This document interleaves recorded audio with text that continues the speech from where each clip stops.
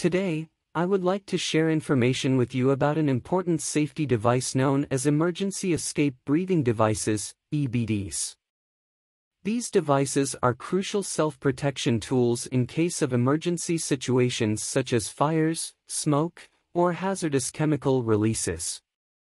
EEBDs are specifically designed to protect our respiratory organs in conditions where the air may be contaminated or inaccessible. They provide us with limited time to safely exit a dangerous environment. Using EEBDs is relatively simple but it is critically important to know how to use them correctly in case of an emergency. When you find yourself in a situation where hazardous substances are present in the air or there is a fire, you need to quickly put on the EEBD to protect your respiratory organs and preserve your life. The hood or mask is typically made of special fire-resistant materials and has a transparent window for visibility.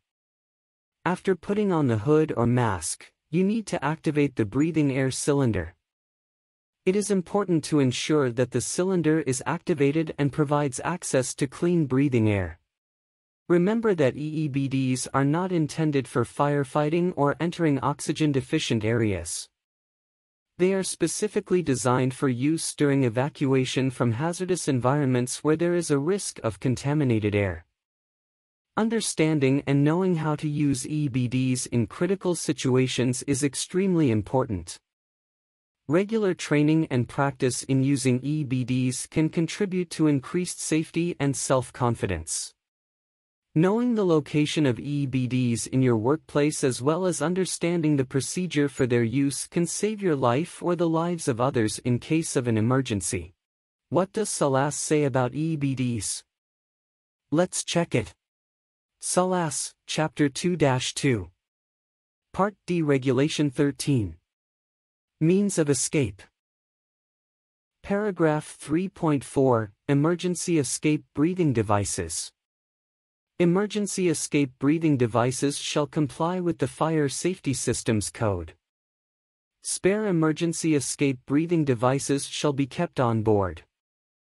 All ships shall carry at least two emergency escape breathing devices within accommodation spaces.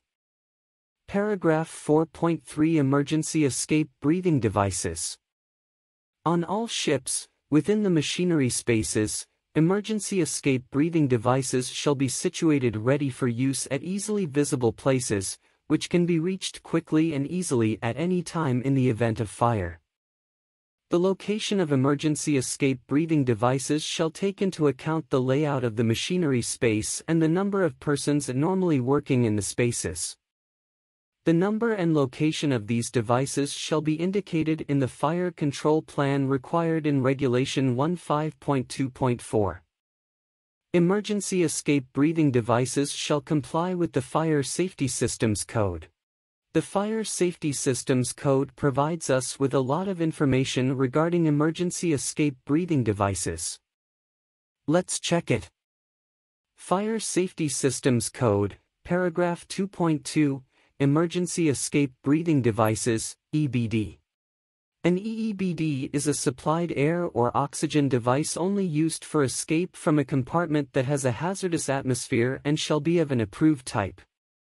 EEBDs shall not be used for fighting fires, entering oxygen-deficient voids or tanks, or worn by firefighters. In these events, a self-contained breathing apparatus, which is specifically suited for such applications, shall be used. Definitions Face piece means a face covering that is designed to form a complete seal around the eyes, nose, and mouth which is secured in position by a suitable means. Hood means a head covering which completely covers the head, neck, and may cover portions of the shoulders. Hazardous atmosphere means any atmosphere that is immediately dangerous to life or health.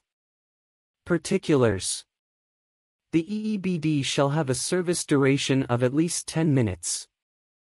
The EEBD shall include a hood or full face piece, as appropriate, to protect the eyes, nose, and mouth during escape. Hoods and face pieces shall be constructed of flame-resistant materials and include a clear window for viewing.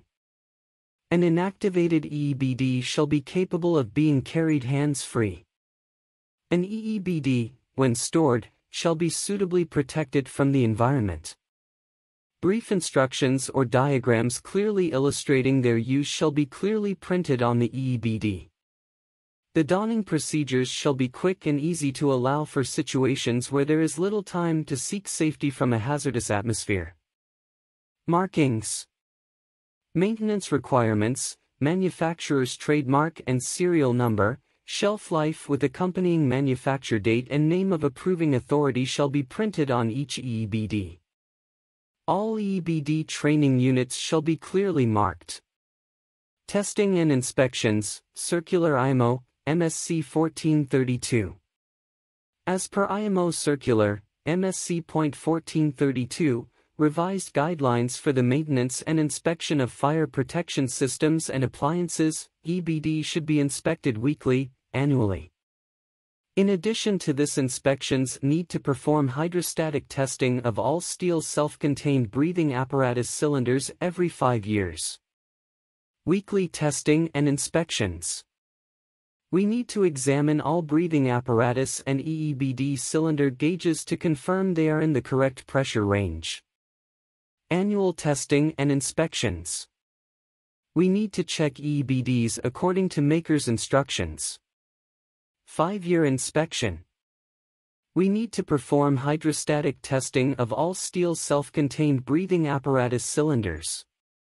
Aluminium and composite cylinders should be tested to the satisfaction of the administration. I hope this video helped you better understand what an EEBD is on board a marine vessel. Thank you for your attention.